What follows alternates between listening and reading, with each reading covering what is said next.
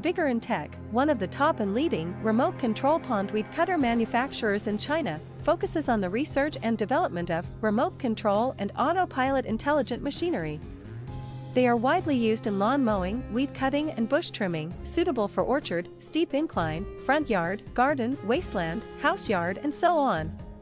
The wireless radio control bush trimmer adopts C and EPA approved gasoline engine, adjustable blade height by remote control, 200 meters long distance remote control, travel speed up to 6 kilometers per hour.